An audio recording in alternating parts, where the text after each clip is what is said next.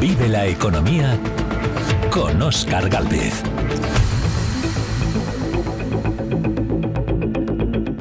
12 y 5 minutos del mediodía. Bienvenidos a Vive la Economía en Vive Radio.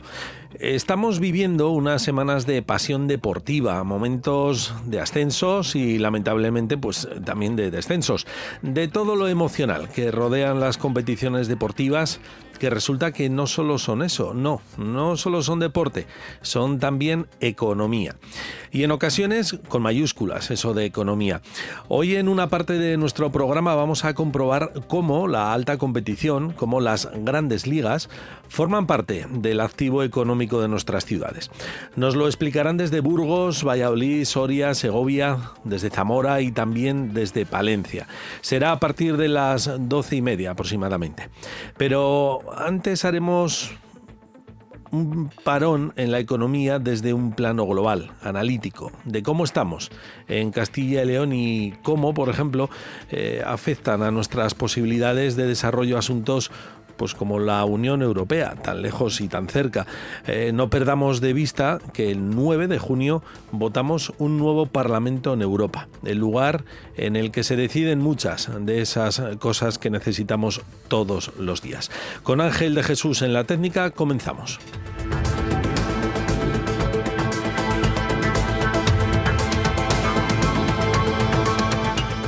Castilla y León tiene ya presupuestos para la comunidad. Se aprobaron hace apenas un mes y eso es de suponer que ayuda a dar estabilidad a la economía. También tenemos en perspectiva unas elecciones al Parlamento Europeo dentro de dos semanas. Algo que teniendo en cuenta el peso que tiene Europa en la política global, pues también tiene implicaciones económicas. Y al mismo tiempo, el mundo, como bien saben todos ustedes, anda revuelto con conflictos bélicos que también se supone que afectan lo suyo en el día a día en un mercado tan globalizado como en el que vivimos.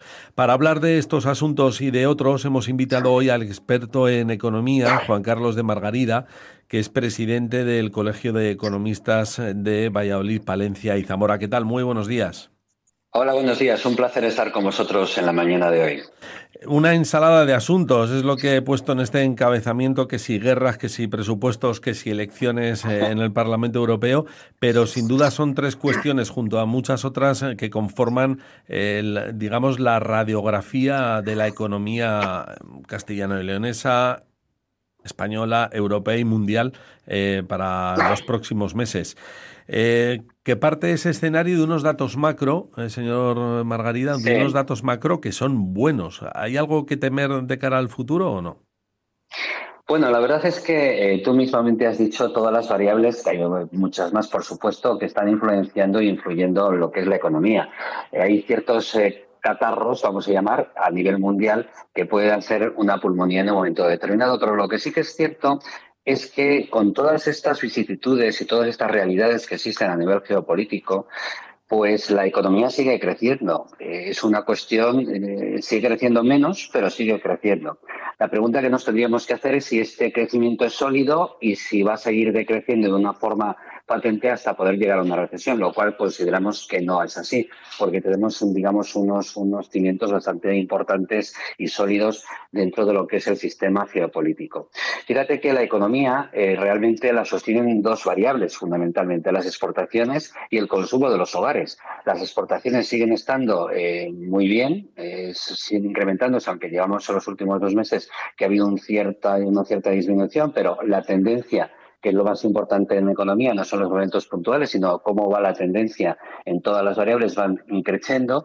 Y el consumo de los hogares eh, se está manteniendo. Es decir, el consumo de los hogares lo que hace es que existe una confianza en que existe empleo, eh, no, van a no se va a perder el empleo, de que existe una posibilidad de poder, de tener dinero y poder gastarlo y por tanto activar la economía. Hay que pensar que el motor de la economía es el consumo en todos los momentos, pero también es cierto que existen unos riesgos que están ahí, tú has dicho algunos, pero por ejemplo existe un gasto público desmedido, que en algún momento habrá que pararlo, porque estamos manteniendo ciertos sistemas gracias a las ayudas de los fondos de Generation que se están aplicando, más todo el dinero que se está aplicando por parte de los estados, sube mucho la deuda y eso al final hay que pagarlo porque los tipos de interés les ha subido el Banco Central Europeo y ahora los estados ya no están a tipo cero, sino que tienen que pagar todo aquello que están pidiendo. Y tenemos que pensar que ese gasto, esos intereses que estamos pagando, que se van a pagar a mayores, pues minorarán los presupuestos, que has mencionado los presupuestos de la comunidad, minorarán los presupuestos en unas cuantías que eh, se traerán de los, del, del estado del bienestar, de lo que son las partidas, por ejemplo, de sanidad de lo que es la partida de educación y de servicios sociales. Y también existe una financiación ilimitada que ha habido hasta ahora que no ha sido buena porque nos han dado tanto dinero para poder gastar y no pagar nada de tipos de interés que al final pues nos hemos creído que podíamos disponer de algo eh, sin necesidad de pagar absolutamente nada a través de ello. Eso es un poco la realidad que existe. Ha pronunciado usted la palabra recesión. Eh, recuerdo que se estuvo pronunciando, se estuvo hablando de recesión durante eh, durante un tiempo, ahora en torno a dos años quizá, no lo sé. Eh, no sé si se pronunciaba más por el deseo de alguien de que hubiera recesión o porque realmente había unos datos, una perspectiva de entrar en recesión y que luego, por lo que fuera, eh, no se entró en ella. Sí, Vamos a ver, antes de que llegara la pandemia, la economía lleva en decrecimiento de una forma contundente. Entonces, cuando llegó la pandemia fue un antes y un después y había que recuperar todo lo que había anteriormente, que no era muy alto, ¿vale? Y mejorarlo. Entonces, eh, había unos impactos muy importantes, había unos, unos cuellos de botella de los suministros, evidentemente había un consumo desmedido. Eh, a Dios gracias tenemos un ahorro muy importante de los ciudadanos que empezó a salir debido a la pandemia, a través de la pandemia. Bien, había unas variables que dependiendo de cómo fueran, la tendencia que tuvieran, podía ocurrir que se entrara en recesión. De hecho, Alemania ha estado en recesión en los últimos meses, en los últimos medio año. Significaba de alguna forma que no nos podría, no, tuviéramos la capacidad suficiente para recuperarnos de lo que había antes y que el impacto de la pandemia hubiera sido suficientemente grave para no recuperarnos de una forma contundente. Fíjense bien que cuando hablamos los economistas de recesión no es que se vaya a producir en el momento, simplemente que las variables tienen una tendencia que si no se mejoran, podemos llegar a la recesión e incluso a esta inflación. Pero hay que decirlo porque eh, la gestión eh, pública y la gestión privada tiene que maniobrar de alguna forma y una forma contundente para que eso se revierta o por lo menos no vaya más. Y entonces lo que avisábamos en su momento era la posibilidad, si iban esas variables de esa forma, a que pudiera entrarnos o podíamos entrar en recesión.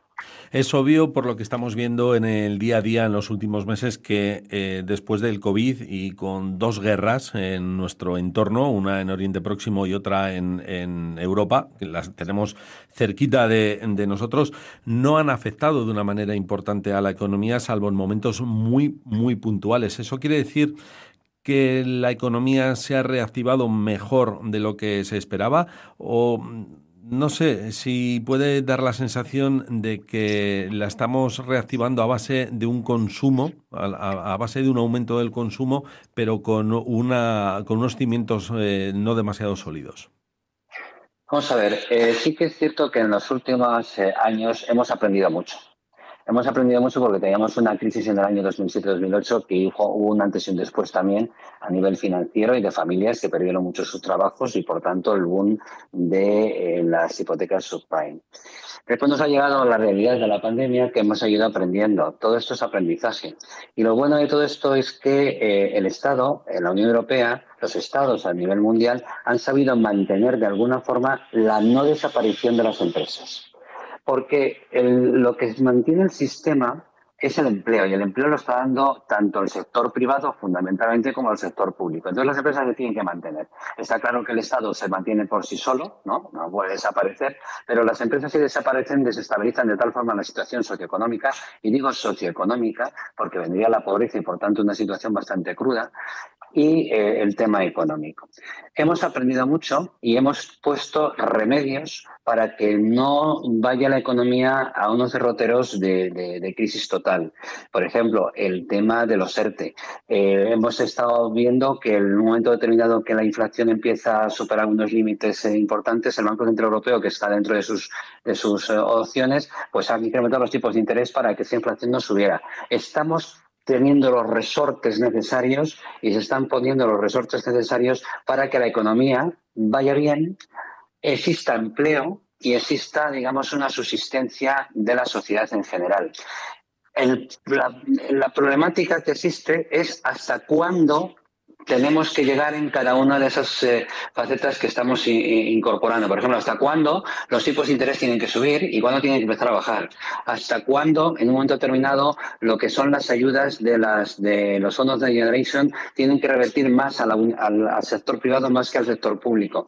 Son una serie de decisiones que pues, fundamentalmente las gestionan eh, la entidad política, tanto de todos los países, pues que son muy importantes, ¿no? Asesorados, por supuesto, por todos los organismos internacionales económicos que existen a nivel mundial. Obviamente, de acuerdo a los datos, está claro que, hay confianza en la economía en el momento actual, pero sin embargo, las estadísticas que se publican eh, periódicamente por el, por el INE eh, da cierto efecto de montaña rusa en cuanto a la, a la confianza empresarial. En Castilla y León, por poner un ejemplo, un unos trimestres sube, otros trimestres baja. ¿Eso es habitual en la economía o obedece, obedece a, un, a un problema de fondo? No, eh, vamos a ver, si hablamos de las empresas, el gran problema que tiene España y por Castilla fundamentalmente es que su entramado empresarial es de pequeñas y muy pequeñas empresas. Entonces, claro, estamos hablando en estos momentos de una situación económica que está en, es una globalización que están cambiando los paradigmas y de hecho a través de la pandemia la Unión Europea está intentando cambiar los paradigmas para las futuras generaciones, las presentes y las futuras a través del tema medioambiental. Estamos hablando también del tema de cambiar la combustión por la, por la electrificación de los coches. O sea, está habiendo un antes y un después.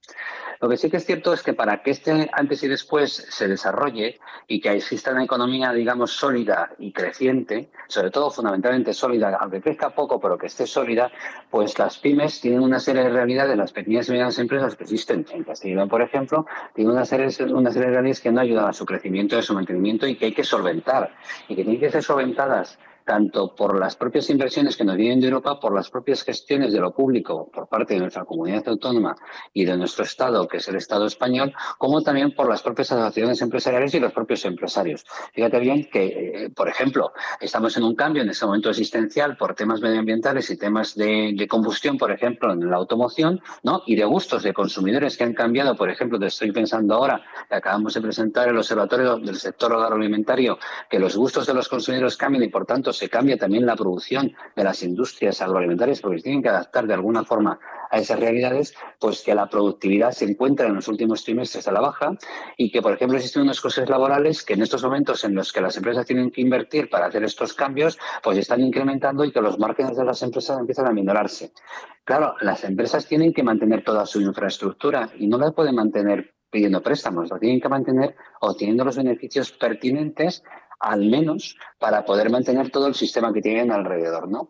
Y claro, eh, si tienen al final préstamos, les han subido los tipos de interés y eso una serie de realidades que confluyen y que tienen que mantenerse o tienen, digamos, solventarse atendiendo a todos los cambios que está habiendo en el momento.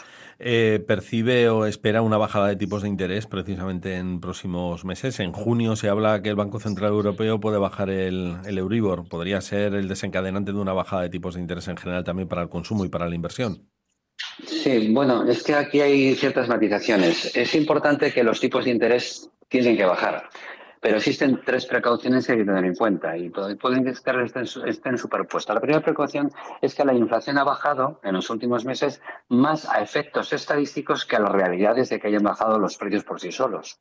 De hecho, existe un problema con eh, la, inflación subyacente muy grande de alimentos que no baja, que está ahí y que es la cesta de la compra y la cesta de la compra al final es el consumo de las familias, que es el motor de la economía. ¿no? Además, eh, los mercados han empezado a especular con esto de que va a bajar los tipos de interés, ¿de acuerdo? Y empiezan a, el Euribor empieza a bajar antes de que lo hagan los propios tipos de interés. Luego tenemos que tener mucho cuidado. Hay que hacerse con mucha cautela porque el Euribor es el tema de los tipos de interés de, las, de los préstamos. ¿no? Y si me permites, la tercera o triple precaución que podría ser es que eh, los tipos han de empezar a bajar para evitar un decrecimiento de la economía. Pero tienen que hacerlo en su justo momento. ¿no? Porque existe una fuerte, fuerte desaceleración económica. Cuidado, no hay eh, una, economía negativa, estaba desacelerándose mm, y esta desaceleración de la economía es debido también a que hemos incrementado los tipos de interés porque si no la inflación no se controlaba. ¿Es el momento? Pues no lo sabemos. En su momento, cuando se vayan a tomar las decisiones, habrá que tomar muchas variables incluso arriesgar a bajar medio punto y ver lo que pasa y seguramente a lo mejor en el siguiente mes o en los siguientes dos meses habrá que a subir. La bajada de los tipos de interés no va a ser de una forma continuada. Puede haber subidas y bajadas, por supuesto, para ajustar la economía. Eh, se ha referido usted también hace un momento a los fondos Next Generation, que evidentemente han servido para implementar las partidas presupuestarias o políticas muy concretas a lo largo de, estos últimos años eh, tras, eh, para combatir o paliar los efectos de la pandemia en Europa. yo no sé si estamos ya en un momento suficiente como para haber medido ¿Qué efectos ha tenido la aplicación de estos fondos en Europa, en España o en Castilla y León? Pues mira, eh, te voy a matizar una, una cuestión. Los fondos de Generation no han venido para solucionar los problemas de la pandemia. Los problemas de la pandemia le dieron dinero para intentar solventarlo y atendiendo una serie de, cuestiones como ERTES y todas las cuestiones que hubo en su momento para poder ajustarlo. La pandemia, todos los que toda la pandemia se fueron, eh, eh, digamos, solventando, habiendo eh, más consumo por parte de las familias y, por tanto, mayor actividad económica. Los fondos de Generation han venido para cambiar el sistema económico de la Unión Europea para hacer un antes y un después en los sistemas de producción y en los sistemas de viabilidad de crecimiento económico que va a tener la, Unión Europea. De hecho, tiene dos patas fundamentales, que es, el, eh, o tres patas, medio ambiente, digitalización y después el tema, eh, por ejemplo, dentro del medio ambiente, el cambio eh, existencial que va a haber en la automoción, por ejemplo, de cambiar de combustión, por ejemplo, al, coche eléctrico o al coche híbrido. No sé si nos estamos dando cuenta que es como si fuera una revolución industrial. Eso significa que desde el principio todos los ciudadanos tienen que comprar coches eléctricos o híbridos. Es decir, dejamos la combustión de la noche a la mañana con el efecto 2030 o 2050. Estamos haciendo que la producción sea parte desde cero en todos los sistemas de fabricación de coches. Vale. Dicho lo cual, los fondos europeos no han llegado donde tenían que llegar. Los fondos europeos tienen que llegar al sector privado, que realmente es el motor de la actividad económica después de que es el consumo por parte de los ciudadanos. Y no han llegado y, por tanto, no ha sido eh, no se ha incrementado la inversión privada suficiente para hacer que todos esos cambios, todas esas ideas y todas esas eh, ideas fundamentales que tiene la Unión Europea se pongan en funcionamiento y, por tanto, ¿qué es lo que ha pasado? Que muchos de los fondos de la Unión Europea, eh, fondos de la han ido a la inversión pública, que es fundamental en ciertos momentos, pero que no es el sustento de la economía de un país sin lugar a dudas. El problema va a surgir cuando haya que disminuir ese gasto público que ha sustentado toda la inversión y el crecimiento económico que ha habido hasta el momento y que provoque la necesidad de tener que subir impuestos. Porque claro, si en un momento determinado los fondos de generación están manteniendo un gasto público y pasan a ir al sector privado, ese gasto público se tiene que seguir manteniendo y necesitamos de alguna forma subir impuestos o pedir deuda. Pero claro, la deuda en un momento determinado hay que pagarla con unos intereses que ya la tenemos en el 4,5% por el Banco Central Europeo y eh, todo este sistema puede provocar un decrecimiento económico. Es más complejo de lo que se ve, pero sí que es cierto que los fondos de Generation vienen para hacer una antes y un después, no por un tema de la pandemia, y sobre todo para que vayan al sector privado, que es el que tiene que reactivar realmente junto con el ciudadano la economía de un país o de una región. Entiendo, por tanto, que eh, no se ha conseguido del todo encauzar por el camino correcto el uso eh, y el rendimiento, el aprovechamiento de esos fondos Next Generation. Vamos a venirnos hacia Castilla y León un poquito más ahora. Eh, como le comentaba al principio en la presentación, comentaba que ya tenemos presupuesto para Castilla y León. Se aprobó hace apenas un mes. ¿Tiene los mimbres necesarios o suficientes para mantener el dinamismo actual, el que ya conocemos, o para aumentarlo? Mira, eh, lo más importante de todo esto, con independencia de los miembros, es que haya presupuesto y que se esté ejecutando. Porque un país, una región, si no tiene presupuesto, está funcionando con las ideas y las necesidades del año anterior y las realidades son cambiantes y se han cambiado completamente de la noche a la mañana, de un mes a otro, de una semana a otra. Y por tanto los presupuestos tienen que ajustarse a las realidades que se prevén que van a ocurrir en el año, en este caso 2024, que seguramente cuando según vamos empezando el año irán con desviaciones importantes porque existen realidades que van cambiando. Pero lo que no nos podemos quedar es con las realidades de hace un año o con las unidades de AC2, porque no estamos ajustando realmente esos ingresos y, por supuesto, esos gastos a las necesidades que existen del ciudadano, de las empresas y del propio sector público. Por tanto, con independencia de las variables que se hayan tenido en cuenta y de las perspectivas que pudiera haber en el año 24, lo más importante es que hay un presupuesto que podrá haber sus desviaciones, que serán ajustadas, pero sabemos dónde tenemos que gastar y por dónde tenemos que caminar. Desde el punto de vista de la, dinamización de la economía y del, del, tejido empresarial de Castilla y León, ¿usted cree que tiene suficientes incentivos para atraer inversiones? Yo creo que sí. Vamos a ver, eh, yo siempre digo, a lo mejor soy muy optimista en este tema, o a lo mejor soy mucho castellano-leonés, ¿no? Pero la verdad es que estamos en una tierra que es muy rica. Es una tierra muy envejecida también y muy despoblada, que tenemos que intentar arreglar eso y revertirlo. Pero tenemos una tierra que tiene dos grandes eh, valores, grandes fuerzas. En primer lugar, tiene el sector agroalimentario es importantísimo y el sector industrial, sobre todo de la automoción también, con independencia de que exista químico, farmacéutico, etcétera. Tenemos un sector eh, agroalimentario que no se puede deslocalizar. Tenemos la tierra, y tenemos algo que es importante, un producto que es premium y que está valorado a nivel mundial. En este momento el resto del mundo valora los productos premium, no los productos normales, sino los premium, por tanto tenemos ahí algo importante.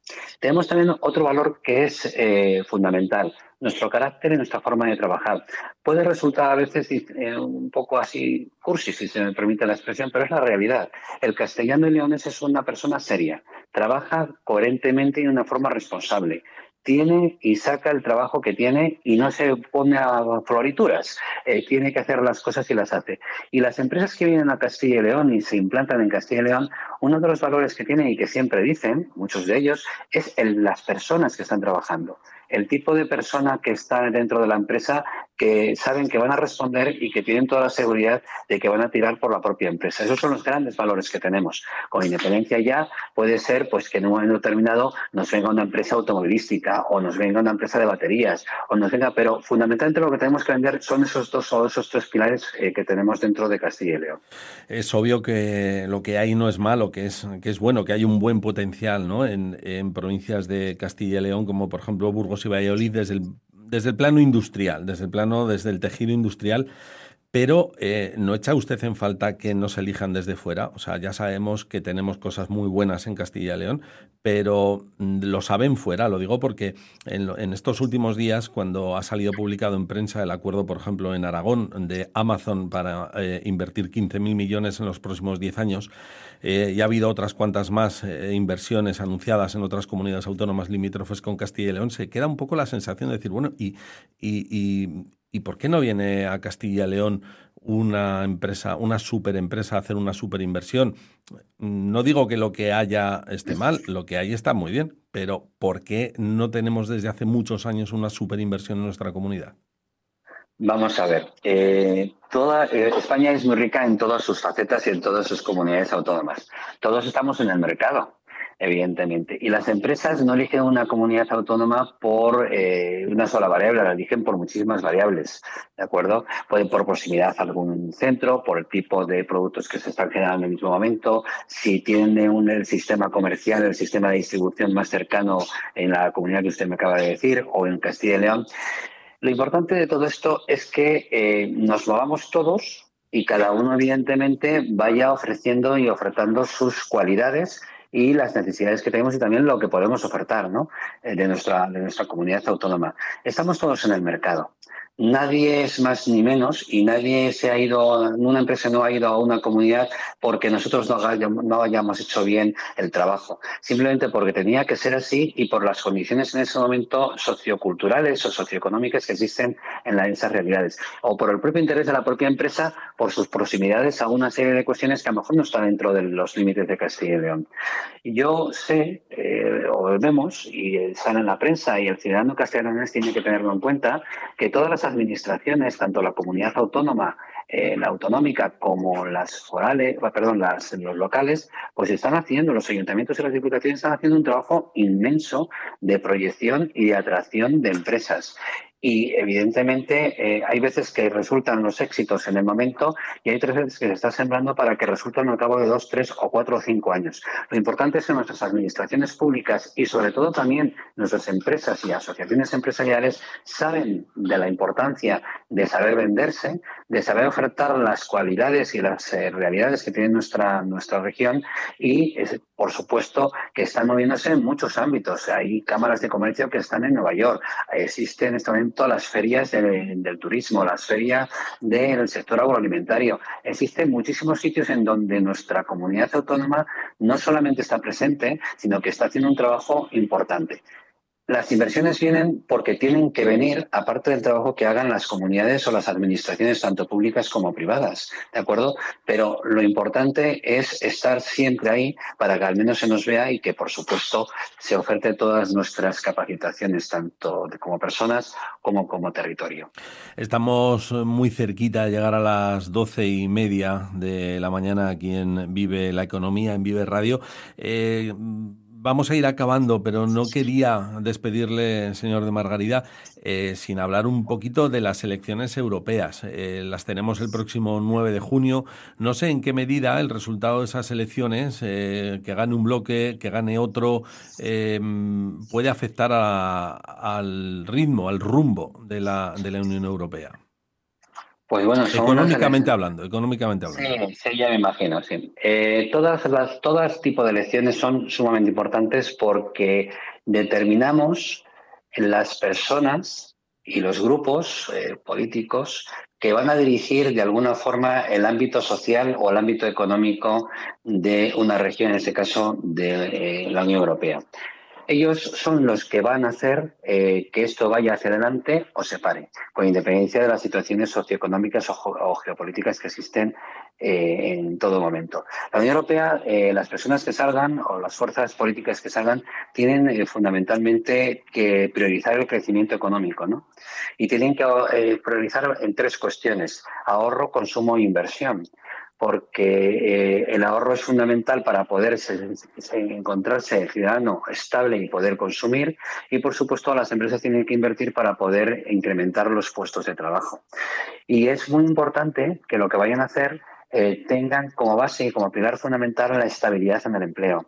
Si el ciudadano se siente inestable en su empleo, eh, deja de consumir y decíamos al inicio de esta entrevista que el motor de la economía son los ciudadanos, es el empleo. Si no consume, no funcionan las empresas, las empresas no generan beneficios, los beneficios no generan impuestos y los impuestos hacen que los estados no puedan invertir en el bienestar social. Por tanto, hay que crearlo, tienen que crear de alguna de las formas y tienen que tener sentido común, fundamentalmente también, eh, pues unos pilares económicos sólidos. Lo que sí que yo aconsejaría, si se me permite, es prudencia.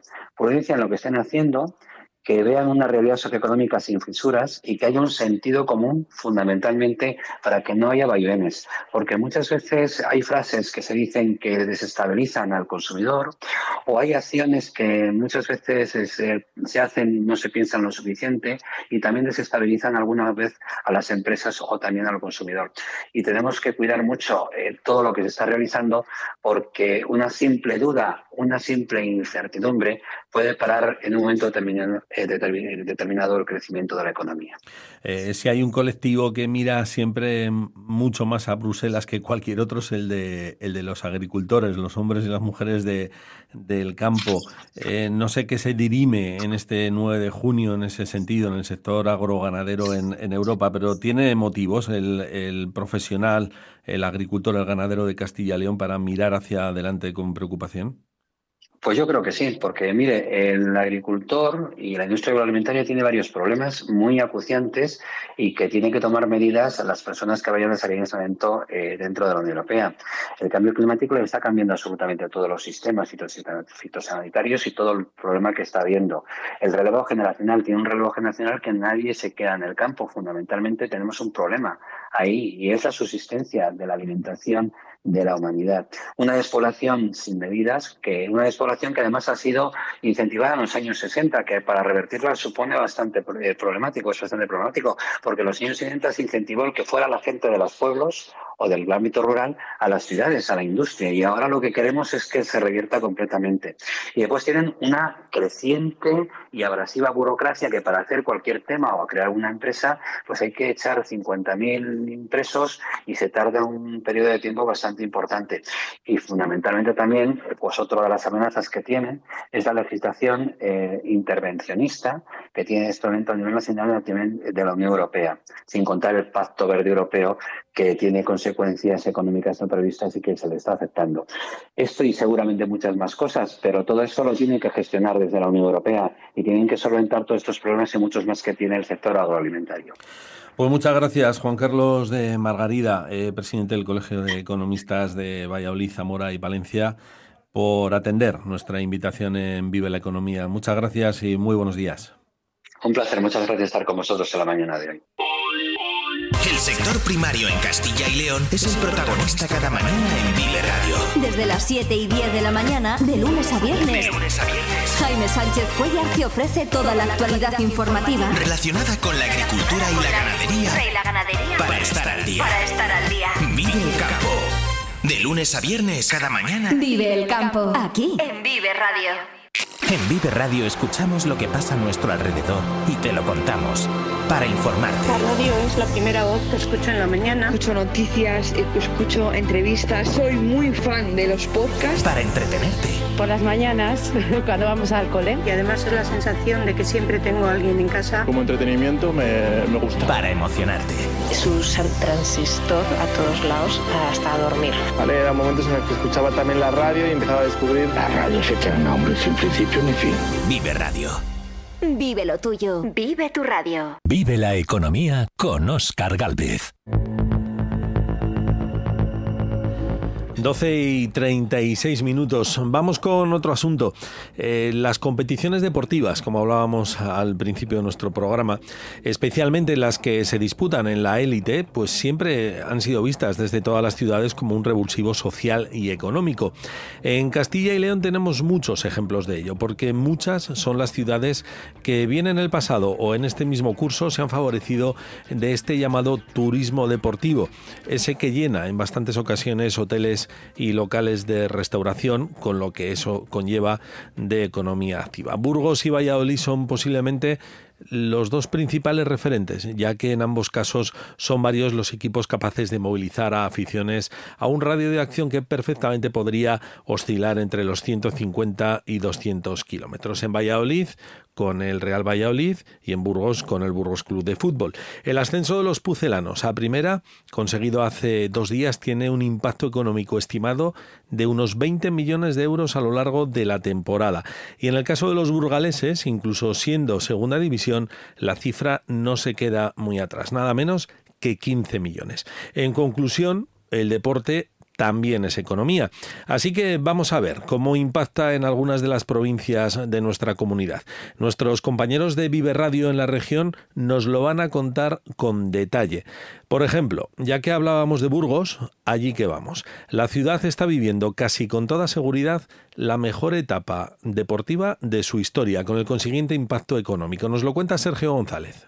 Burgos está viviendo posiblemente la mejor etapa deportiva de toda su historia. En fútbol, el Burgos Club de Fútbol cumplirá el próximo curso su cuarta temporada en Segunda División, mientras que en baloncesto, el Longevida San Pablo y el grupo Ureta Tizona aún tienen opciones de alcanzar la máxima categoría de este deporte, la ACB. Además, en balonmano, el Ubu San Pablo tiene una última oportunidad de ascender a la Liga Sobal y en rugby, el Recoletas Burgos Caja Rural ha firmado la mejor temporada de su historia, consiguiendo dos de los tres títulos que ha disputado, la Supercopa de España y la Copa del Rey. El impacto económico que genera la visita de las aficiones a la capital burgalesa es algo palpable, tanto en el tejido hotelero como en el hostelero, así como en sus proveedores. El día y la hora de cada encuentro es fundamental para la fluctuación de reservas tanto de mesas para comer o cenar como para los alojamientos.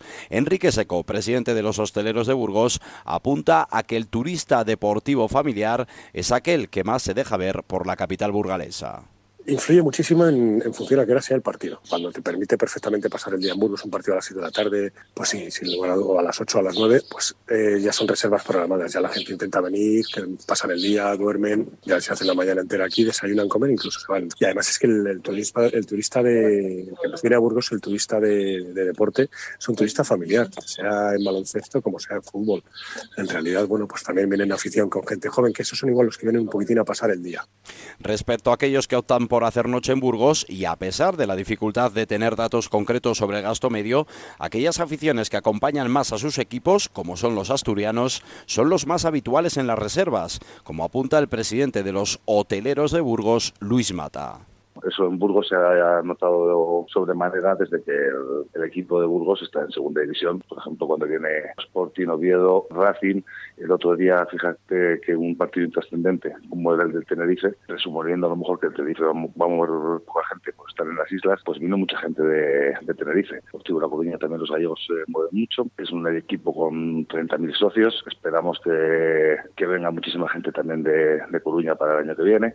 Los responsables y gerentes de los alojamientos también señalan a otro sector deportivo, pero al margen de los equipos de élite, que dejan su sello en cuanto al gasto económico en ciudades como Burgos. Hablamos de las categorías inferiores y el deporte base. Lo destaca Luis Mata. El balonmano que o el rugby, que a lo mejor no está a esos niveles, pero también también también van aportando, es un, es un goteo. Y luego hay un deporte eh, muy muy importante también para los hoteles, que es el deporte escolar. Al final ese deporte también, eh, pues las competiciones de, chavales, de ya sea fútbol, baloncesto, el esgrima, incluso que tenemos un mundial de esgrima anualmente aquí en Burgos, pues vienen esos equipos, eh, arrastran a sus padres, abuelos y demás. No tiene tanta fama, no sale tanto en la prensa.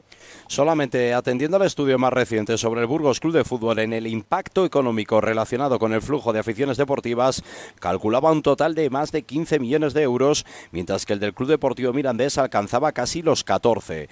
El deporte es sin duda, y más en este momento en Burgos, uno de los motivos de la generación de economía, empleo y movimiento a todos los niveles. Gracias, Sergio, donde atraviesan también por una fase de gran expectación por el ascenso de las segovianas en la ciudad del acueducto.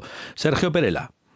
En Segovia nadie ha hecho estudio alguno sobre el impacto económico que puede tener en la ciudad el ascenso de la gimnástica segoviana a Primera Federación, pero eso no quiere decir que no se esté hablando de dinero, más bien al contrario. De lo deportivo se está hablando nada, al menos por el momento porque el club tiene diferentes frentes abiertos y todos tienen que ver con los dineros.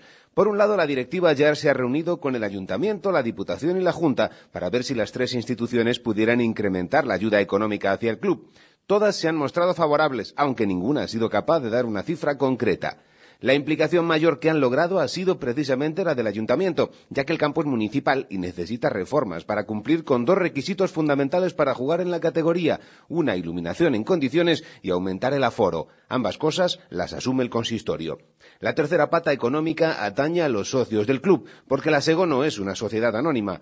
La directiva ha aumentado el precio de los abonos en 50 euros, situándose los más solicitados en 200 y 220 euros la temporada. Además, para hacer frente al aval que pide la Federación, que asciende a 200.000 euros solo por competir, ha pedido a los socios una suerte de derrama, cada uno lo que pueda, y ahora mismo tendrían recogidos unos 10.000 euros.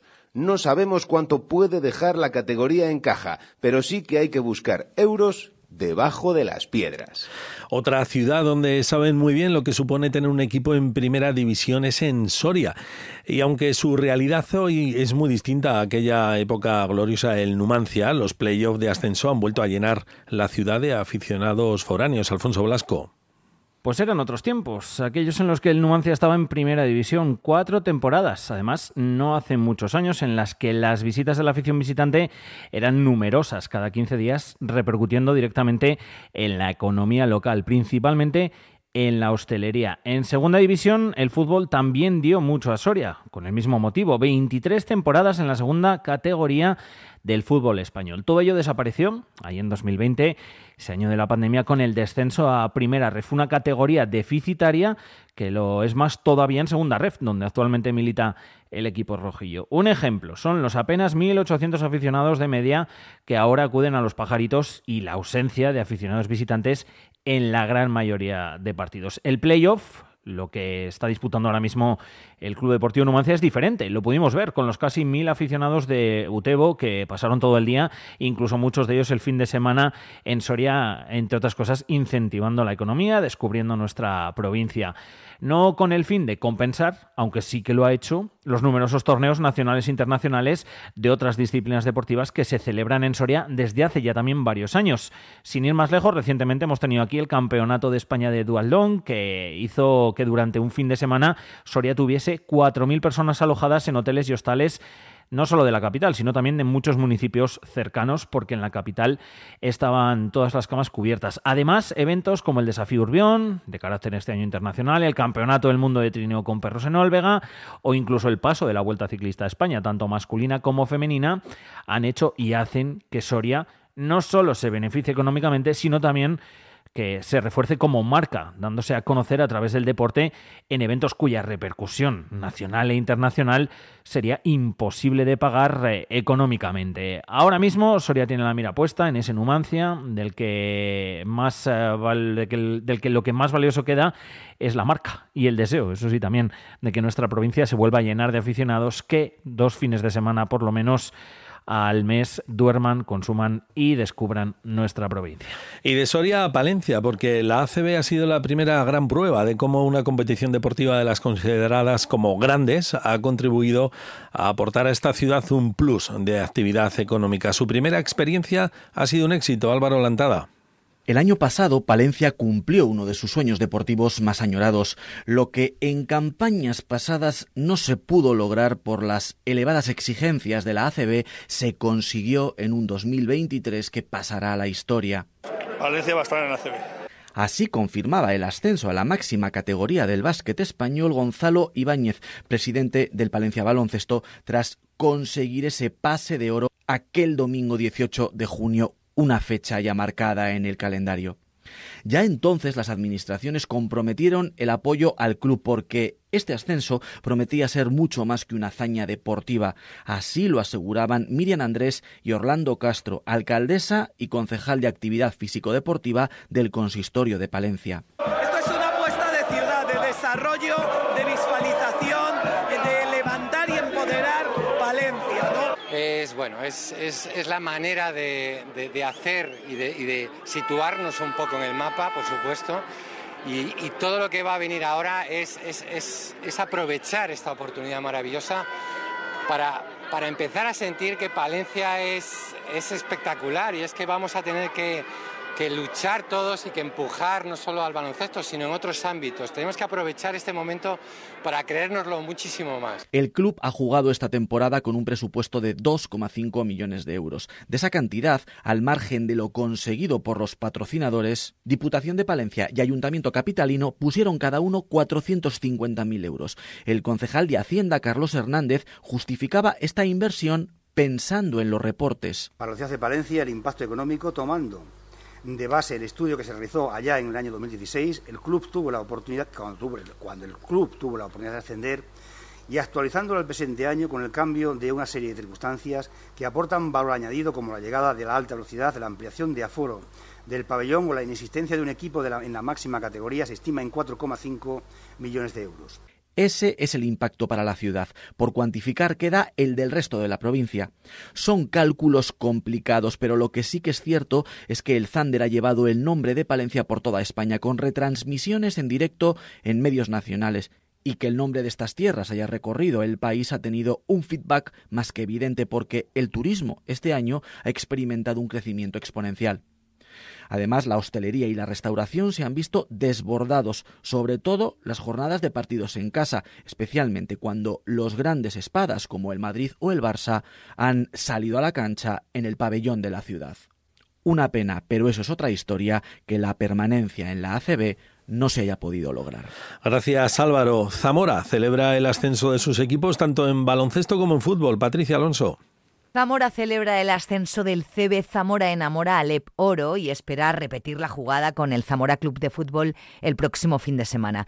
Situar a un segundo equipo en una categoría superior como es Primera Ref supondría una pequeña alegría para una ciudad en la que cualquier movimiento es bien recibido porque implica la llegada de aficionados cada 15 días y porque se promociona a la provincia. Nos lo explica el secretario del ACEO en Zamora, Ángel Hernández. Yo creo que el elemento fundamental es darle visibilidad a nuestra provincia. Pero claro, en, ese otro motivo que apuntaba y que es más directo, que es eh, la gente que viene el día que se jueguen partidos en, Zamora, pues efectivamente el sector de la hostelería es el tema más beneficiado. A mayor categoría, más aficionados en la calle, ya sean locales o visitantes, y eso repercute siempre de forma positiva en la economía local se ve con la llegada del verano y la primavera en los pueblos donde se celebran carreras, ya sean competitivas o solidarias. Y cerramos la ronda en Valladolid, donde aún resuena el eco de dos tardes de festejos tras el ascenso del Real Valladolid a Primera División. Como en Burgos, hay equipos en la élite de varias disciplinas y eso atrae muchos aficionados. Hola, Diego Rivera.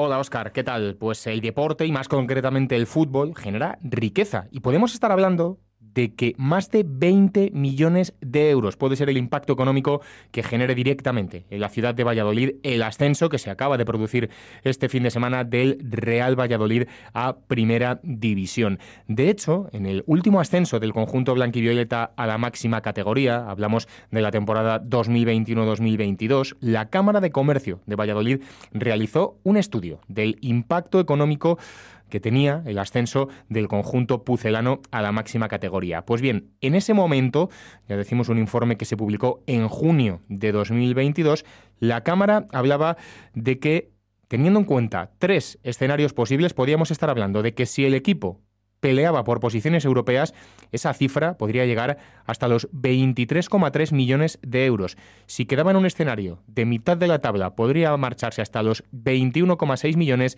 y si estaba obligado a luchar, se tenía que conformar con luchar por la permanencia, algo que finalmente fue lo que sucedió, ese impacto se quedaría en los 20,7 millones de euros de manera directa en la ciudad de Valladolid. Como vemos, unas cifras importantes. De hecho, se hablaba, por ejemplo, de que en ese escenario intermedio los ingresos directos para el sector hotelero rondarían los 593.000 euros, para los restaurantes 287.000, para el comercio 608.000 y para el transporte 841.000 euros. Se hablaba de que cada aficionado visitante que llegara a Valladolid para ver un partido de su equipo como visitante en el Estadio José Zorrilla podría gastarse una media de 60 euros en hostelería y 140 en alojamiento. A eso hay que añadir evidentemente otros gastos de equipos técnicos y directivos de los equipos rivales con una media de unos 400 euros por partido.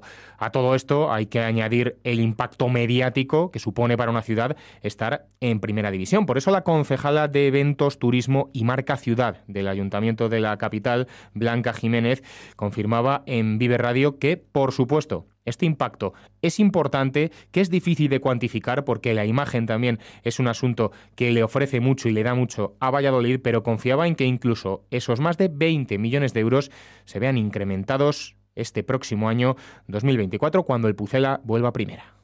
Sí que es cierto que es muy difícil ¿eh? calcular esto porque al final hay que pensar en, muchos términos, no solo en los términos de pernotación. Sí que es cierto que en otras ocasiones se ha calculado en torno a 20 millones. A mí me gustaría pensar que es todavía más porque también tenemos que aprovecharlo. No solo es dejar que venga, la gente a jugar al Valladolid o que vengan a jugar contra el Valladolid, pero también es que seamos capaces de dar una oferta que esos fines de semana hagan que la gente se quede. Entonces vamos a aprovechar el tirón. Ellos han hecho lo que tenían que hacer, que era subir. Nosotros ahora tenemos que aprovecharlo al máximo.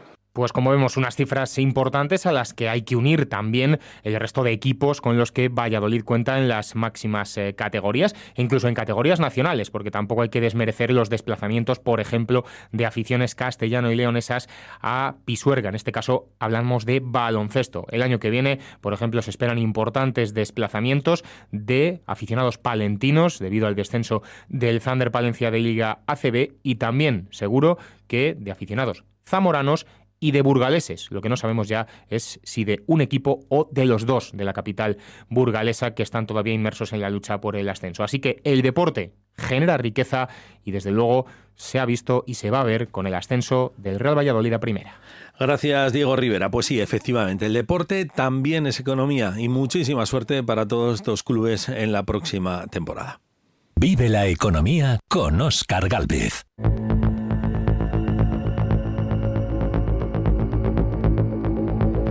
Seis minutos nos quedan para llegar ya a la una de la tarde. Vamos a abordar el último de los temas que teníamos previsto para este Vive la Economía en este martes 28 de mayo.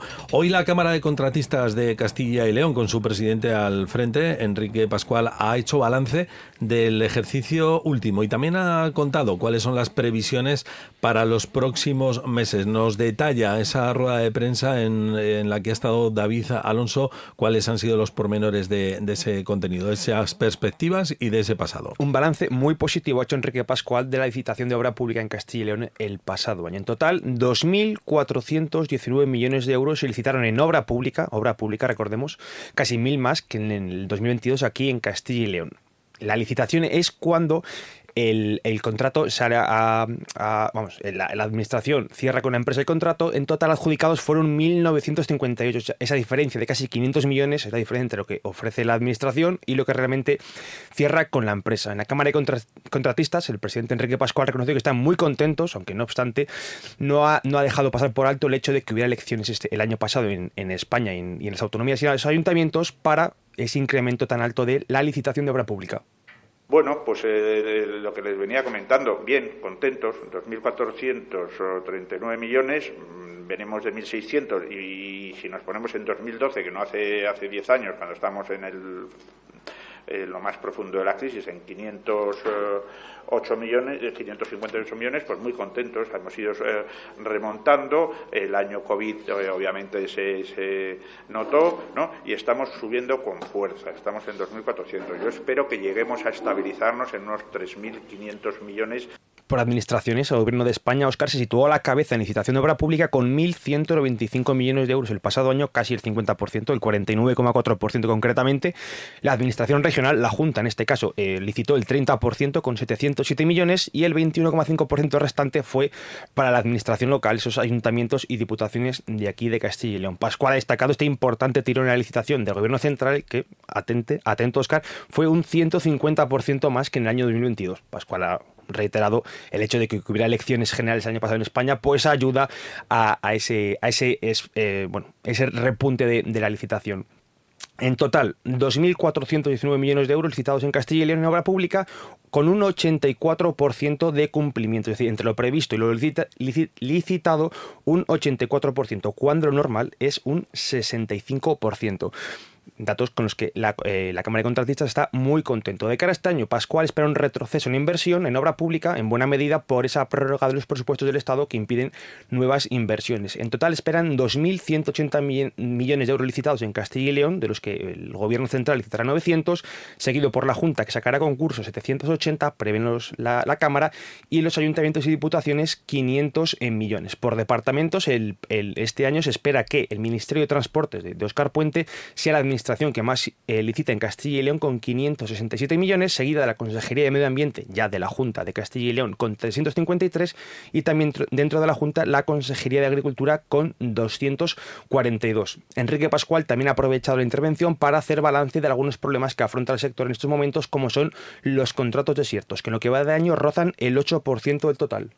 Las obras públicas son todas obras necesarias. ¿No?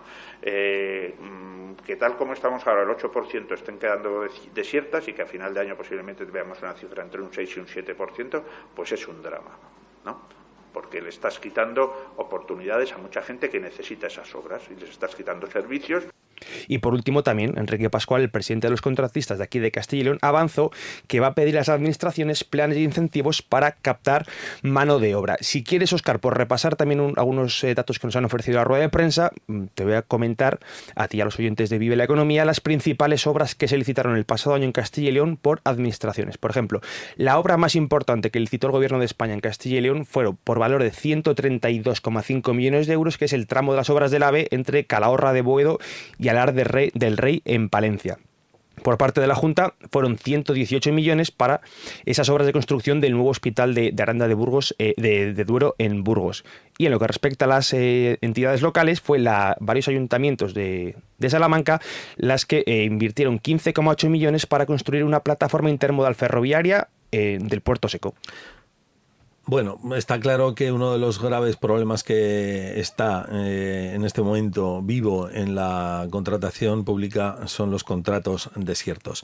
Vamos a ver si le podemos poner solución, quien, quien tenga la competencia para ello y las posibilidades de poner las herramientas para ello. Nosotros, gracias David Alonso, hemos llegado ya al final de nuestro espacio Vive la Economía de hoy martes. Nos queda un minuto para llegar a la una de la tarde. Hemos abordado lo que es eh, el deporte y la economía. Eh, dos cuestiones que van juntas de manera inexorable y que ojalá al año que viene lo sea todavía más. Hemos hablado también con el presidente del Colegio de Economistas y hemos hablado del último dato, de la última hora de la Cámara de Contratistas. Ahora les dejamos eh, con Iván Álvarez en el programa Vive Castilla y León y continuamos en Vive Radio. ¿Qué tal? Que pasen muy buena semana. Bye.